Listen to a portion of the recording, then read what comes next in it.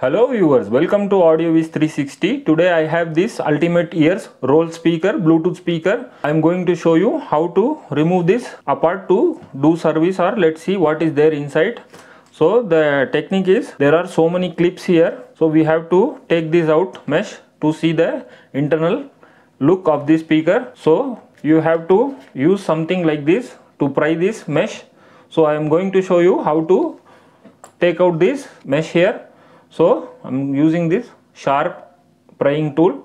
So you have to slightly insert like this and you have to pry slowly. You can see like this.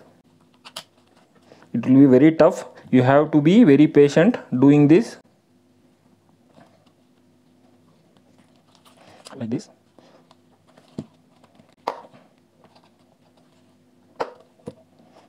There are so many clips here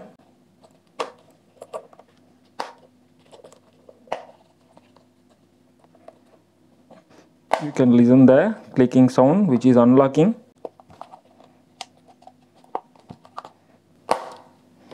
Like this. Now you can slowly take out this. It will come separately like this. So this board is for charging and auxiliary input. You can see. So there is a connector here which will fit here in this main motherboard. So this is the battery and Showing you closer.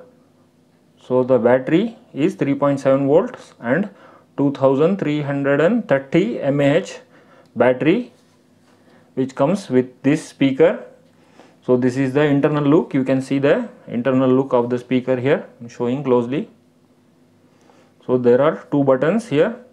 One is turn on button and this is for bluetooth pairing so this is for pairing.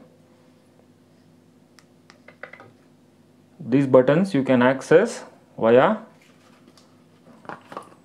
these two like this. So all right. So this is the basic step to take apart this speaker. So i hope you like the video. Thanks for watching the video. If you like the video please do like share subscribe to audiowiz 360 and hit that notification bell icon. If you have any queries please write in the comment section below. Thanks for watching. Bye.